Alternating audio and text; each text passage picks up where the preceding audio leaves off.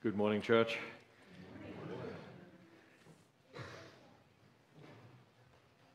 This is text that he has just read in John 17, if you have your Bibles, I'm, I'm going to be there for but a few moments because that is where we are with our time this morning, and that's a good thing because we're family, and today you have heard a lot of very happy things that are happening, very happy opportunities that there are to be of service and to be helpful. So when you hear these words that Jesus is praying in John 17, I hope that they bring courage to your hearts on a Sabbath like this after we have experienced being added to the list. Yes, we are number 180.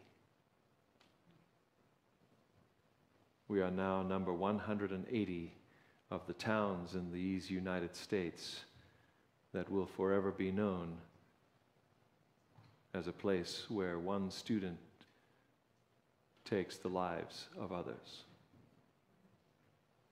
180. This is the Santa Clarita Valley. It is home to many and has been for many years. And some are lucky enough to know that there used to be onion fields out here, where that school, Saugus High, Saugus Strong, where that school is, there used to be agriculture. But now it is a place of learning, it is a place where our children have gone and will go again. But today, we need to hear from God as to how to go forward. I know I do.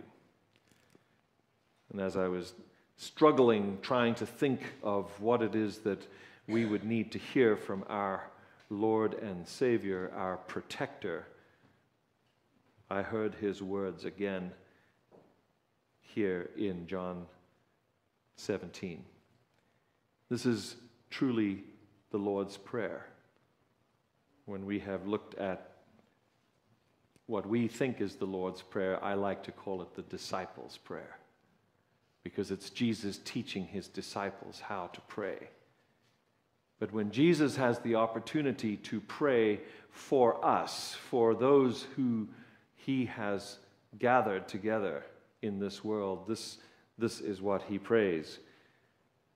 For I gave them the words that you gave me, and they accepted them. This is Jesus talking about you and me. They knew with certainty that I came from you, and they believed that you sent me. So, my friends, the best thing that somebody can say to you today is that you are a believer. Now, if you want to tag on some other names to that, if you want to say, yes, I'm a Seventh day Adventist believer, I'm a Methodist, I want you to know that there is only one name under heaven by which people can be saved, and that name is Jesus. And in this time of grieving, in this time we come together. If you saw the slide, it does say that tomorrow night at 7 o'clock in this town there will be a gathering. I want to say that I'll be there. You can choose to be there too. You can choose to stand with people who have gone to Saugus. Uh, I know that there are uh, some graduates of Saugus with us today. Uh, where's your, your daughter? She's there. She's at the back. She's at Children's Church, yes. She's going to sing with her choir, some of whom were in the quad on Thursday, waiting for their time to be together as a choir. So it's a time of support. It's a time to hear from God. It's a time to, to hear that there will be questions answered someday. Verse 9 of chapter 17 I pray for them. I am not praying for the world. Now, you might find this a very interesting statement, but it, it, it struck me that Jesus, Jesus knows who has already said yes to him. Um, I told Brett and VJ that I would mention this today. Uh, Kayla's father in law is struggling at the hospital right now. He had a heart attack on his run yesterday. He's preparing for the LA Marathon. He's not a wimp, he's a strong man. But the question on VJ and and, and, and Brett's heart today should be the question that should be on all of our hearts. Is, is he a believer? Because you see, if we are believers, then we think about this world differently than, than if we're not. And Jesus, Jesus is praying for his people in this prayer. He is praying for us, praying for you and for me. So if you are like me and, and, and you have many more questions than, than you have answers today because of the, the randomness, the craziness of this week where we will never be able to question that young man as to why. Why did he choose to do what he did? What was, what was his motivation? Is, is there some way? I think we all, as, as leaders, as people who are involved in education or in, in, in, in service in some manner, we all want to know was there something we could have done? I'm sure Jesus had these same thoughts. Is there something more, God, that I can do? I'm going to pray for those who believe in me. There are those who don't believe in me. And he says, right here, I'm not talking about those because those still have to make the decision to believe in me.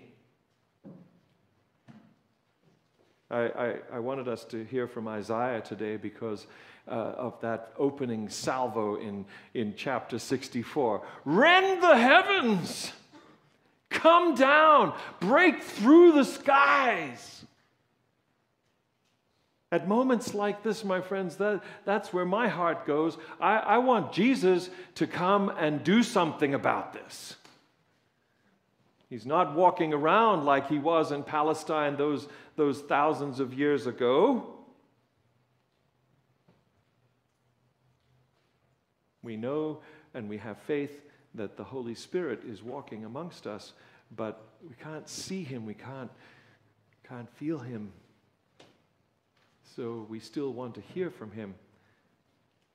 And that is when we turn to Scripture and it says, All I have is yours, and all you have is mine. And this is verse 10. And glory has come to me through them want you to feel good about yourselves today. But what I want you to know is that the only reason you should feel good about yourself today is because you bring glory to God. You are the glory of God. On Sabbaths, you'll hear me pray, and when I pray, I pray for the fact that I am happy, I am joyful when what I have done, the way that I have lived, has brought glory to God. Amen. And that I am sad, and that I am contrite, and that I am sorry for the things that I do and say that do not bring glory to God. That's the line, my friends. And Jesus is praying for his people, and he says, You have given them to me, and they are mine, and what is mine is yours, and I will remain in the world no longer, but they are going to still be in the world. He's leaving, he's saying to his father, I, I'm leaving. I'm, I'm coming back to you, Holy Father. Protect them. Protect them by the power of your name, the name you gave me. My friend's name, as you well know, just means family. Plug that into uh, commandment number three, and you really get the meaning. If you're going to say you are a believer in Jesus Christ and your life does not match that, then you are taking that name, you're being part of that family in vain. We come together at times like this and we say to ourselves, God, what do we need to be? What do we need to be to those individuals, to, the, to that young man who, who lost his dad? Sitting there watching TV, and his dad has a heart attack and dies right in front of him. Did we just say, Sorry, man, and then continue with our lives? While he actually ended entered into what some would say was PTSD. And we didn't know. Could that be a, a, a, possible thing? I mean, this kind of horrific stuff is happening. People are in, in, in, running down the road preparing for a marathon at one moment, and the very next they have a heart attack. And they're in the hospital in ICU fighting for their lives. And the doctors don't know how much of their brain is left. That is, that, that is going to change the history of that family.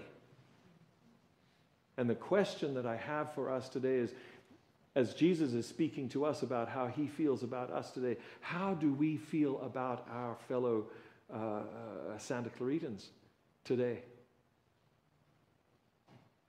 And I don't mean just because of Thursday, I mean because of every day. Because it's not just Thursday that brings uh, difficult moments and difficult times into people's lives. It's every day. Every day. It's something that my wife and I even say to each other. We use that phrase every day. Because it seems that, that in these times, my friends, that it is not just a uh, it's not an uncommon occurrence. It's an everyday occurrence that people's lives are being changed dramatically. And their opportunity then to know the Jesus that you and I know and hold dear, that opportunity is snuffed out. So, as, uh, as, as, we were hearing the lesson this morning uh, from our brother, uh, when he talked about the fact that we long for Jesus to come,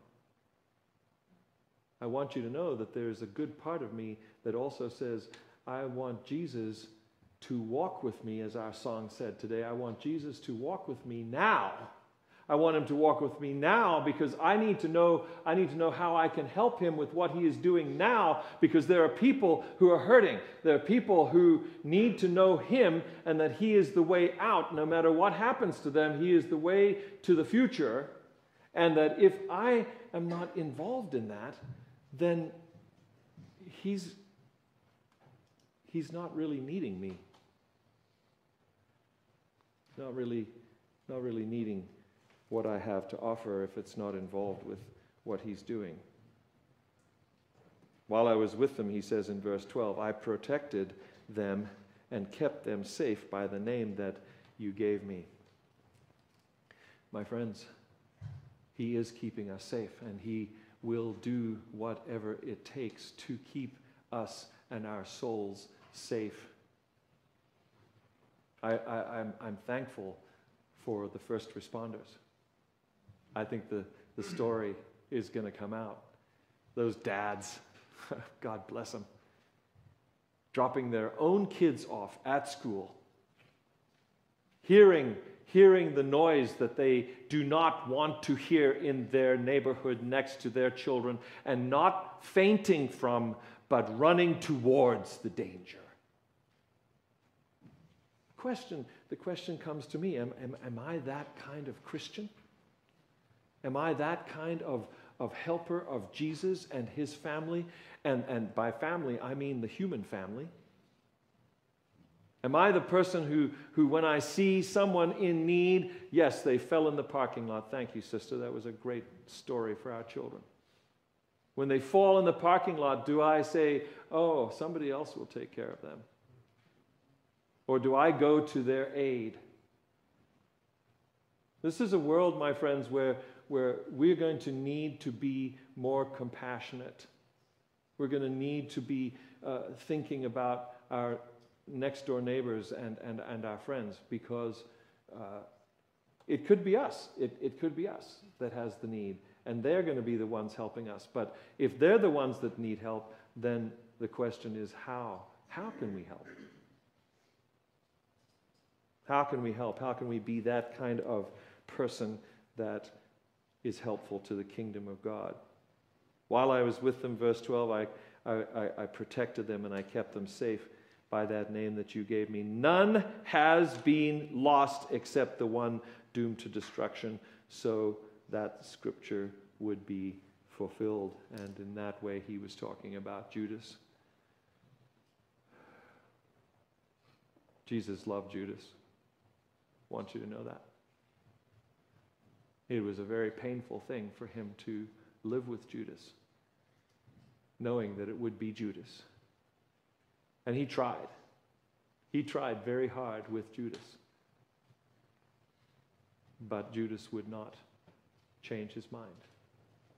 Judas had an idea, by the way, of making Jesus do what he wanted Jesus to do. That's why he betrayed him. I want Jesus, instead of singing, I want Jesus to walk with me, he sang, I want Jesus to do what I want him to do. I want him to follow my political agenda. He went out into the night, and, and the, the God of heaven was, was crucified on that tree. And Judas realized that he had betrayed. He had betrayed his, his God and his Savior. And there was no coming back from that. In his mind, there was no coming back from that. Peter, Peter did the same thing, remember? he, he also he also denied. I mean, a moment before, he had slashed the ear off the servant. And, and, and within, within minutes of, of doing that and watching Jesus, the Creator God, take that ear and put it back on that head, you got to ask yourself, why was it the ear? Well, just, just do this. And then you know where the sword went and why it was not the ear that he was aiming for. And it's moments after that that when he's around that fire in that courtyard and people are saying, Oh, you, you, you are with the Galilean, your accent. You know, I know all about accents, believe me. You were, you were one of them. Oh, no, no. And then he starts swearing. And I'm sure, being a fisherman, he knew a thing or two about swearing. So it is amazing to me that in this moment in John 17, we hear Jesus and he is praying for those people. And he is saying, I have kept them safe, all of them except the one that was not going to be willing. And he was the one that walked away. It wasn't because I didn't love him, but he walked away. I am coming to you now, verse 13, but I say these things while I am still in the world, so that they may have the full measure of my joy. And this is what I want to leave you with today. In the midst of sorrow, in the midst of the sadness that is weighing down my heart and is obviously weighing down so many other hearts today, not only about our situation, but about the situation that we find ourselves in this world where we are raising our children or attempting to raise our children in the fear of God. But that sadness can be interrupted. It can be interrupted by the joy of the Lord. The joy that is a gift. Let me, let me make that distinction for you this morning. It's not happiness that I'm talking about. We think that Happiness is the opposite of sadness. And yes, if you leave God out of it, yes, it is. But there is something that happens in the midst of us who fear the living God that we can have joy. We can have this gift from God that says it's going to be okay on that great getting up morning. It's going to be okay. He is going to put this right. But in the meantime, he is requesting that we trust him and that we lean upon him and that we ask him for the direction that we should go. And friends, when we when we live this joy, I believe that we will be the pilgrims. We will be the pilgrims that Jesus can use to invite more and more and more people to walk with him in this world. Amen.